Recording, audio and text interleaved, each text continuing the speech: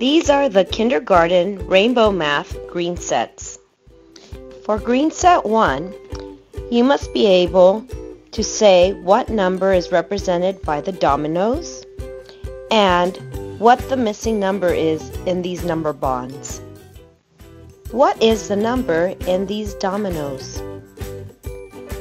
4 3 5 4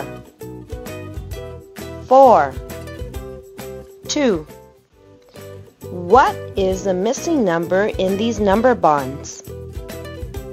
0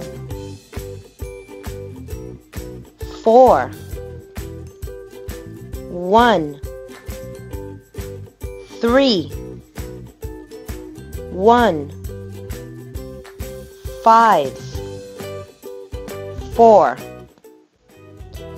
For green set 2, you must say what number is represented by the math racks and the answers for these addition and subtraction problems.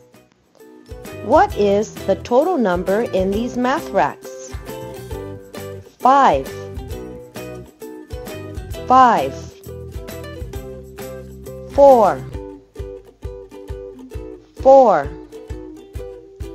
3 What is the answer to these addition and subtraction problems?